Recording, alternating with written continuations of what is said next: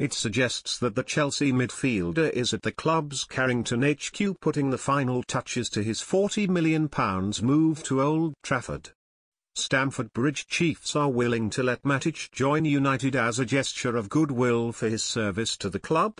United are expected to get the deal over the line in the coming days and he could make his debut in the Super Cup clash against Real Madrid on August 8.